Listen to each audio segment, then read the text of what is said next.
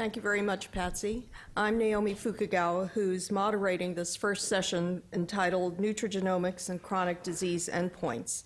Um, as we have heard from Sylvia, we are on a very tight schedule, and so I'll keep my introductions very brief and refer you to the biosketches that are available in the handouts that you've received. So to begin, I'd like to welcome Jose Ordovas, who will introduce us to some of his work in epigenetics and nutrition, and will discuss the relationship between these fields. His scientific achievements in diet gene interactions, particularly in cardiovascular disease, will have garnered several awards globally. So I'd like to welcome Jose. Thank you.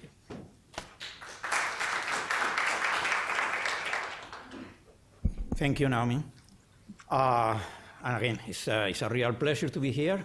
Uh, uh, this reminds me 10 years ago, Anne, when we had that uh, personalized uh, nutrition workshop as part of the Food and Nutrition Board. And some of the key elements uh, are also part of this. Uh, Patrick there and Nick that will talk this afternoon. So it was time, after 10 years, to discuss these issues that we are going to uh, discuss today. Um, the title is difficult, uh, what I was assigned. Uh, fortunately, I have genotypes there that makes me feel comfortable because if I have to talk only about epigenetics, it will be a, a very uphill battle. Uh, so let's, uh, let's start, uh, or let's continue with what Patsy introduced us. is this something that I can? Okay, I guess, yes.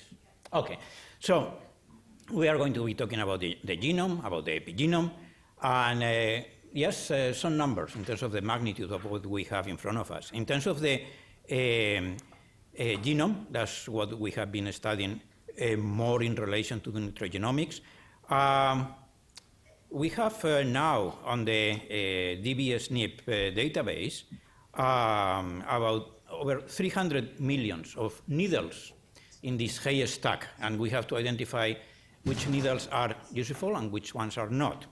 Um, with regard to the epigenome, oh, we have 30 million uh, CPG uh, dinucleotides that can be non-methylated, methylated, partially methylated, and so on and so forth. So seems like the task is not as, uh, as difficult as dealing with the genome, but keep in mind that in fact it's more difficult because unlike the static role, if we can say that, of the genome, in which yeah, we have an SNP and it's there, and it will be uh, hopefully in all the different organs and cells and so on. In the case of the epigenome, well, uh, we are going to have some of them in one moment in the life of the individual, but not in the others, and in one organ, but not in others. So we have uh, something more, much more difficult to deal with in terms of using the epigenome as part of this task of nutrigenomics or nutrigenetics. So let's talk uh, briefly at the beginning, just uh, in terms of the genome, before we enter into, into the epigenome. And the, the genome, uh, we know, uh, and we have enough uh, research behind us to indicate that the genome is a good, or can give us an indication of either what we can eat or what we want to eat in terms of behavior, for example. Uh, and uh, that's, uh, that's, so the, the concept is real, right? But uh, we have seen before the complexity that we, we have in front of us in this road.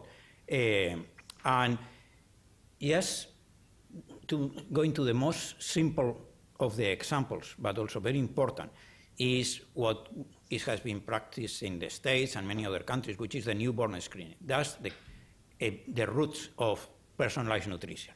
We know that there are about over 4 million uh, babies born every year, and 12,000 of them are born with uh, monogenic diseases that, if they are not detected on time, which is usually at birth, they can mean death to the individual or a life that is with serious disabilities. So that's, that's an example that personalized nutrition exists and is important. Obviously, this is the easiest of the example. In terms of the benefits, well, this is for one of them, uh, one of the um, many of the uh, diseases that are detected uh, in newborns, and is congenital hypothyroidism. And uh, the cost of that screening is about $20 million. The calculated benefit of uh, what the changes uh, or the benefits that uh, we can make in these uh, over 1,000 uh, infants that are born with this disease is about $400 million. So the benefit of, uh, of this is obvious, it's 20 times the cost. So that's not the only cost because during the lifetime of the individual, as, as you know, they have to go on specific medical foods and they are expensive. But again, can you put a value of the, uh, to the life of an individual or to the well-being of an individual? So this is more or less the cost per year in case of the uh, infants, over $2,000, and in the case of adults, over $25,000. Anyway, regardless of the cost and the benefit, what we know is that based on the genes, you can, there are individuals that can eat one thing or cannot eat uh, that thing. And this is an extreme case. In terms of more broad examples about how, uh, what Patsy was saying, how health influences the genome and genome the health and so on so far, we can see that in terms of the evolution. Uh, positive selection, this is another concept that has been brought to the scientific literature quite often in terms of that plasticity of the genome, uh, in, in, terms of communicating with the environment. And what we know is that in several, in, in different ethnic groups, uh, you have also they are exposed to different environments and their genomes are different. And a lot of that, uh, considerable amount of those differences are driven by uh, the dietary environment. Ob obviously, there are other aspects that modify through evolution our genome, and that's, uh, for example, the pathogen load. But here we see the classical example of the lactase, right? Lactase, uh, depending on what is in the environment in terms of access to dairy products and so on, uh, you have uh, more or less prevalence of the lactase persistent gene. But the same uh, happens with ApoE4 in terms of uh, uh, the transition from being hunter-gatherers uh, to the more agricultural scenario. The same happened with the ADH1B, which is related to alcohol. So what we have, what we can say is that what different people have put on their tables in terms of their cultures and so on, it is determined in, in, a, in a great uh, amount by the genome of the individuals, of those individuals that have been adapting to those environments. All right. Uh, in terms of, you were saying about the taste, right? Uh, the flavor, the, the preferences. Uh, but this is in part genetics. Uh, we know the sweet tooth. I mean, there are people that really like chocolate and so on and so forth. Uh, in the case of one of the macronutrients that are, have been more in the dietary guidelines, right? which is the fats. the fact that you like or not the fat, and therefore you can become more or less obese or be prey of cardiovascular disease and so on, in, oops, uh, in part is due to, uh, to different uh, genetic variants that are very common in the population. And now we know that. Uh, still, we don't know what to do with that information, but we are trying to, uh, to see how we can make a, um, something that is actionable out of this information. And I'm going to put an example uh, with, me, with uh, ApoA2, for example.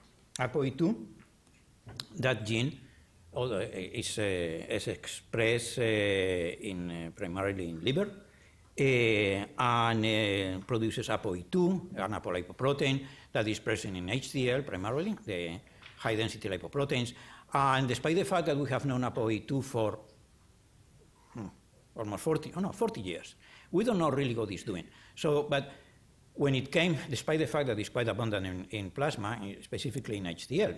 Uh, so it has been thanks to the genetic work that we can start to see at least some of the uh, activities that this protein can, can do for us. And what we have here is one of the, our, our initial study, in fact, in a population is called the GOLDN Studies, a nutri-pharmacogenomic study that uh, we had uh, with Donna Arnett, um, in uh, two sites in um, Minneapolis and in Salt Lake City. And uh, in that case, as I think I mentioned, we have over 1,000 people, and we do uh, we did uh, postprandial load and so on. And we were interested in looking at the differential response to a fat load, but also to fenofibrate. But uh, in addition to that, we were looking at uh, the usual diet uh, and how that is associated with different um, risk factors. And here, in terms of the ApoA2, we have a common polymorphism that is in the promoter region. And if you have the normal genotype or you are heterozygous for the uh, less common allele, uh, this is uh, the kind of uh, caloric intake that you have. Uh, these are the, this is not the correct, uh, as you can see, the correct unit. and this is the weight that they have on the BMI. If they are CCs, that means homozygous for the less common allele, uh, you eat more and you weigh more, right? So, um, why? Because as you saw before, these people are more enticed to eat fat uh, and meat products and so on and so forth. So, uh, this is a, an example of a genetic variant that predisposes you to obesity, but because it drives you to eat uh, certain foods. Now, this is just labeling, labeling people. But can we do something about that? And this is uh, the nice thing, is because knowing this, then we could, we could take this forward and see if there was interaction between genes and diet, and in this case, between uh, this gene, ApoA2, and saturated fat, and BMI. And what we see replicated through different populations, in this case is Framingham, this is GOLDN, the study that I mentioned before. This is another one of our studies, the Boston Puerto Rican health study, in which uh, you see, this is the, the those the genotypes that were not predisposing you to eat more uh, and to have a higher BMI. Uh, and this is the one that was predisposing you to have a higher BMI. From the genetic perspective, that's what we saw in the previous slide. From a, integrating the genetic with the nutrition, we see a much nicer picture because you see that under low saturated fat uh, uh conditions or diet, it doesn't matter uh, if you have the um, the the excuse me the allele or the or genotype or the less common genotype, right? The BMI is the same. When do you see the differences? When you stress, let's say, your physiology or your genome by consuming a high saturated fat diet, and then you see that that's when you express the negative aspects of the CC. The other thing, as you can see here, is that for people that are not, don't have this genotype, doesn't matter. If you are consuming a low saturated fat diet or high saturated fat diet because your BMI doesn't change, right? So one, what has been one of the problems that we had for many years, lack of validation, lack of replication. So what we are seeing here is that this was not only seen in Framingham. We saw that exactly the same pattern in GOLDN. We saw the same uh, pattern in uh, the Boston Puerto Rican. These populations are pr pr primarily whites. This is a Hispanic population. And then we moved to Europe and we saw exactly the same. We moved to Asia, to Singapore specifically, and in three different ethnic groups, Indians, Malays, and Chinese, we saw the same. So what this is telling us is that, excuse me, is that this is a polymorphism that may have a significant impact in terms of personalized uh, recommendations. And like this, many others, at different stages of validation. So it's a matter of uh, trying to put all the reliable information together. And obviously, I am not preaching that this is the answer, because you saw what my, oh, everybody saw, thanks to you, what the thoughts are in terms of the complexity. But this, in isolation, provides you certain proof of concept that this may work, but you have to put everything in the context of this complexity. And here you just see that different ethnic groups or regions of the world have different prevalence of these uh, polymorphisms due to that positive selection that I was telling you about. Okay, so what we have is precisely that in our hands. We have a nice puzzle. Uh, some of the pieces of the puzzle are in the right place, many of them are not. Uh, and still, the, the years ahead, the, the duty that we have is precisely to I will never, I don't think we'll be able to complete the puzzle, sincerely, but at least to have a better idea of where the pieces fit together. All right, let's enter into the epigenetics. And uh, this has been be precisely because what I indicated before, this is a moving target, different organs, different cells, different tissues, they have different epigenetics. In the case of humans, we are restricted primarily to those cells that we can access, right? So a lot of the progress in terms of epigenetics and nutrition research has been done in animal models. In the evidence in, um, in, um, in humans is starting to come out. And, uh, but something that can serve as a starting point or reference of the importance of nutrition, early nutrition, in terms of uh, the impact on the epigenome, comes from the famous uh, and well-known uh, winter of 1944 in, in the Netherlands. And at that point, the, the people in, in the Netherlands, they have to survive during that winter in uh, rations that were about between 400 and 800 calories per day. There were many people that died from that, about over 20,000 people. Uh, but that was not the end of the story, because some uh, smart investigators revisit what, uh, the individuals that went through that hunger when they were still in the fetal state. And what they saw is that uh, for example, the uh, birth weight was different uh, uh, in terms of when they were affected by the hunger.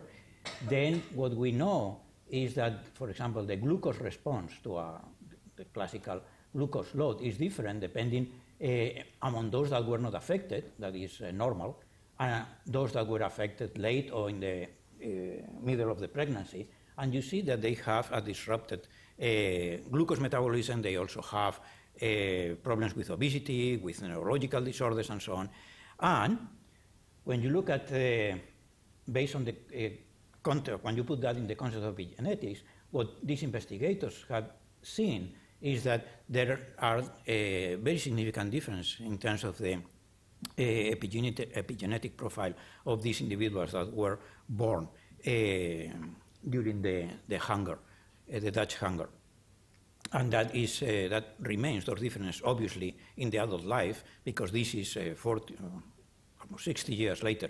This is when, obviously, their genome is, or their epigenome is being analyzed. And so this was a point in history, a, a sad point in history, but there are these seasonalities happens in many parts of the world. Uh, um, uh, year after year. Uh, that's the case with Gambia in, oops, in Gambia, uh, which is the smallest uh, country in Africa, if I remember well, there are two seasons, the dry and the wet. And depending on when you are born, uh, that also marks your survival. Okay? So you see, these are, those that are born during the harvest, those are born during the hungry season, and their survival is quite different. Now, when more recently people have been looking, Waterland, Prentice, and so on in, the, in London, they have been looking at the epigenome of these individuals. Sure enough, you can see that there are differences uh, in the epigenome of these individuals, uh, depending on the season of conception, that may play a very significant role in what we are seeing here, right, in terms of the survival, but also in terms of other diseases. Okay, something that is in the in today's news. Well, yeah, fruits are recommended, but are juice is juice similar to fruit, after all. I mean, practically it contains everything. So all that I see is that fruits are favored over uh, juices, right? Uh, for several reasons. And you see here, rich in fiber, low energy, vitamins and minerals are intact, deficient in fiber, high energy. Uh, well, these are a little bit extreme probably because they are in some cases replenished. But anyway, so is that true or is one, of, one more of these things that uh, is popularized and after that there is nothing tangible underneath.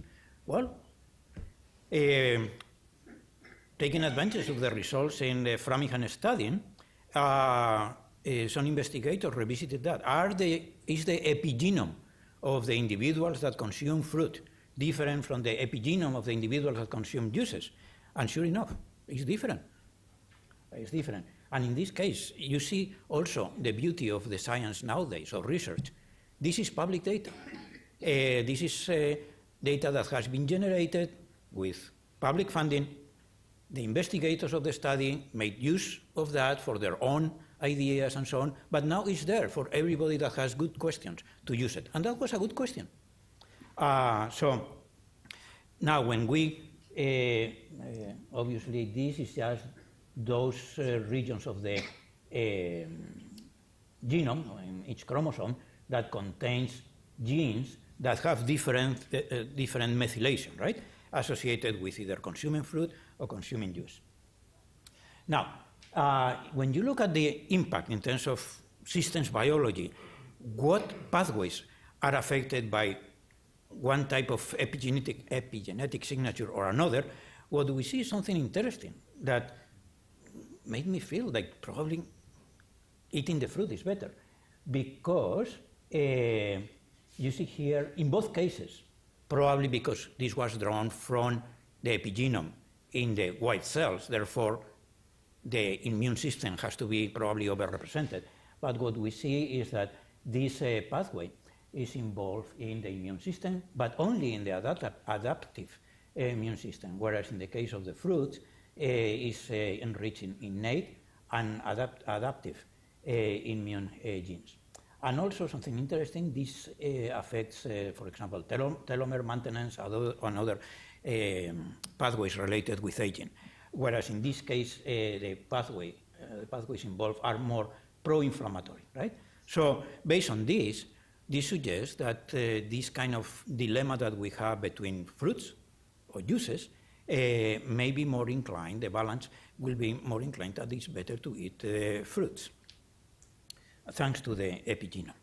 All right, so now it comes the integration uh, of epigenetics in nutrition research. So the idea here is that um, when it comes to, the, ah, by the way, when we are talking about the epigenome, what we are looking here is a small fraction of it, which is the methylation, because you have the epigenome is much more complex than that, and it's, it's going to be important also. But we have been focusing more on the methylation. The methylation is going to depend on, well, in many things, uh, but in two things in this case: what we eat, and also our own genome. Because remember, you have to methylate CG if the, there is a variant that removes the C or the G in that position it's not going to be methylation. Or if there is a variant that introduces a methylation site, it's going to be methylation in a place where it was not before. So the idea is that you have an, an interaction, well, a, a combination here of environmental factors, diet or fatty acids being one of them, with the genome itself that is going to affect the methylation, therefore gene regulation, and then in this case, for example, lipid profile and cardiovascular risk factor. All right, so what we are going to, this is just kind of putting faces to the, the, that complex diagram that uh, Patsy showed us before with one case, which is, uh, you are going to see it. This is, uh, like, oops, these are different studies um, uh, in, the, in the US uh, that we use to generate information of uh, over 10,000 people with methylation information. And uh, we focus on ABCA1 that is involved in HDL metabolism. We are not going to uh, get into the details and how uh, the details of how it works in terms of regulating HDL. And let's go to the, to the action. There, what we found is it was a, a genetic variant, a common genetic variant, that is sitting on top of one of these CPG islands, regions that are uh, differentially methylated, right? Which is in the 5' region of the um, ABCA1 gene.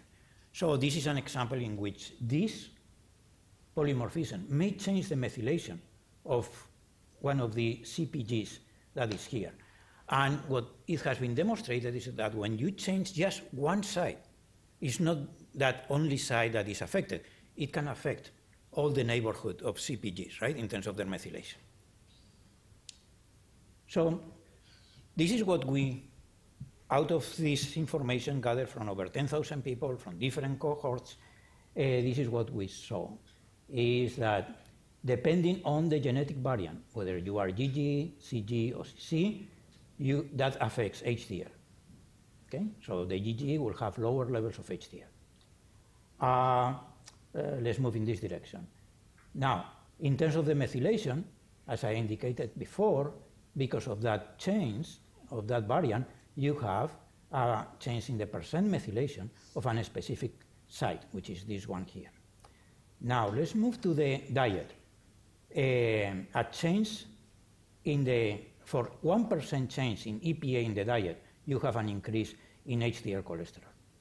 But also you have an, a decrease in methylation. And remember, if you have a decrease in methylation, you increase the, usually, you increase the expression of that gene. So you have this complex uh, situation in your hands that when it comes to, now, what can we do in terms of recommendations with that knowledge? Well, uh, here we have now people that have the GG genotype, people that have the CC, and these are the heterozygous, the CGs. Let's just focus on these two, just for sake of uh, simplicity. And you see that, for example, uh, an increase in e EPA in, this, uh, in, the, in subjects with the CG genotype will result in decreased methylation, increased ABCA1 expression, and therefore increased HDL. However, in the case of the GGs, an increase of EPA will result in an increased methylation, as seen by this, a lower ABC1 gene expression, and lower HDL cholesterol. So now you can start to see how you really to, need to integrate the genetics and the epigenetics in order to come out with uh, information to the individual that could be more precise. Because the same recommendations that we have in terms of oh, increase your, uh, your levels of EPA, right, uh, is going to have, in one case, a positive effect, in the other case, a negative effect in terms of the endpoint, which will be HDL cholesterol. All right. So just to illustrate what we have in our hands, we have a very complex Rubik cube that we have to integrate, not only just, uh, as we saw before, saturated fat, uh, EPA, but all the different components in the diet, right? Plus all the genes, plus, plus the epigenome.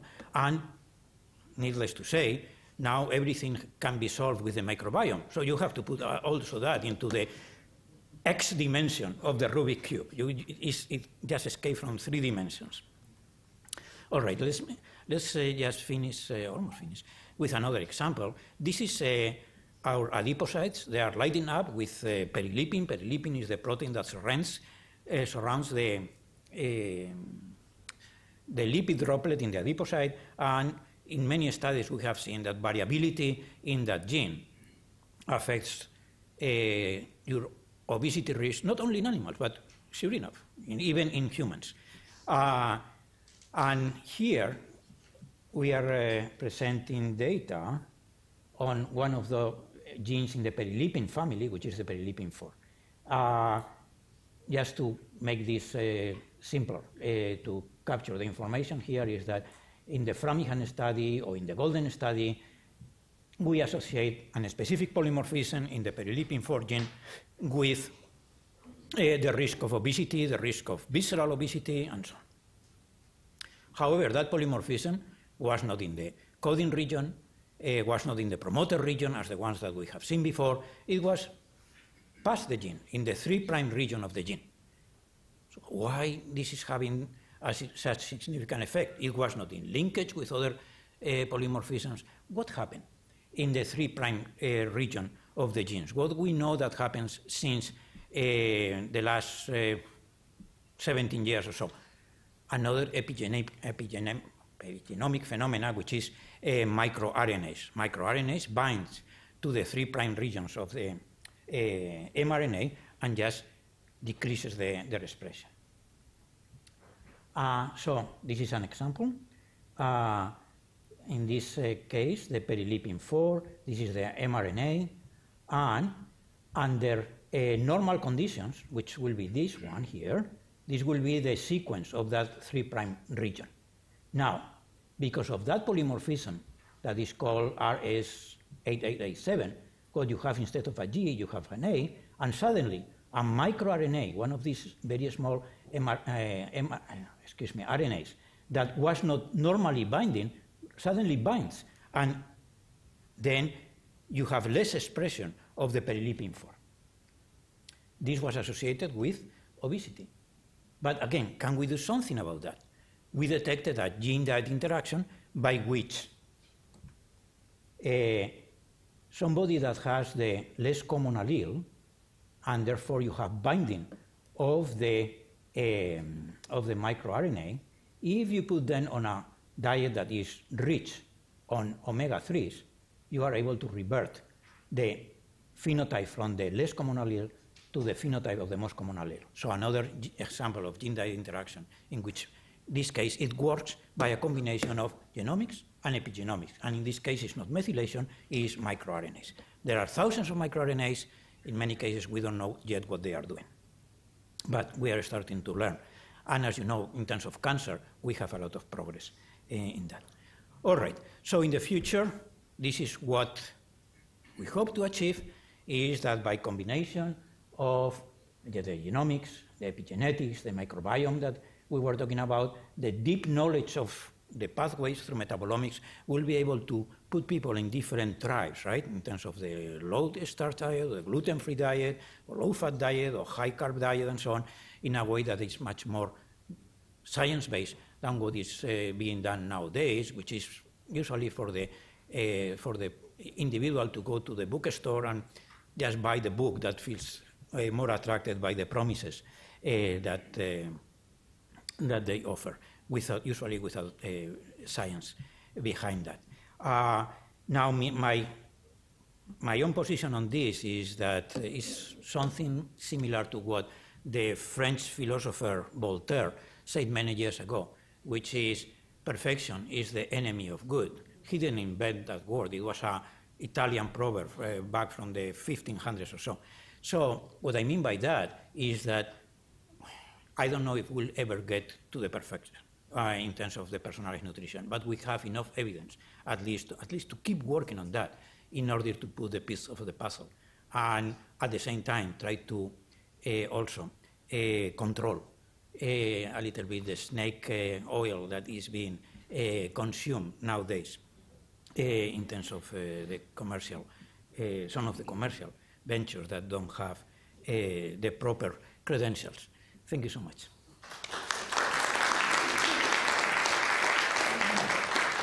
Thank you very much, Jose.